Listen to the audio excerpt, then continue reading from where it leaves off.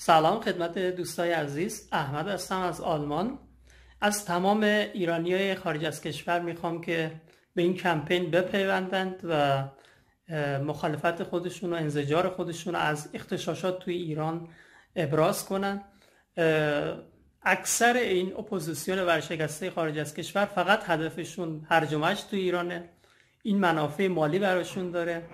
شبکه مثل منوتو اینترنشنال که خوراکشون از جیب عربستان سعودی تامین میشه. هیچ هدفی جز تخریب و فروپاشی ایران ندارن. از دوستان عزیز خواهش می‌کنم که ساکت نباشید. برای ایرانیان داخل کشور پیامتون رو بفرستید که بابا ایمان هم توی اروپا زندگی می‌کنم توی اروپا بابا خبری نیست.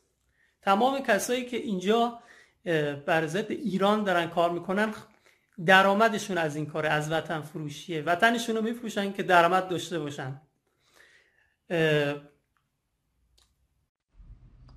سلام به همه هموطنان گلم. من مهداد هستم از اشتوتگارت آره منم با این کمپین موافقم چون یک بار با دخالت بیگانه یه انقلابی تو ایران ایجاد کردن انقلاب 1357 حالا مردم به هر دلیل خوب درست یا اشتباه آمدن گفتن این نه اون یکی آره ولی بعد تمام کسی که انقلاب کردن پشیمون شدن. اون موقع هم به همین صورت من یادمه چون سنم می‌رسه اون موقع ده یازده سالم بود.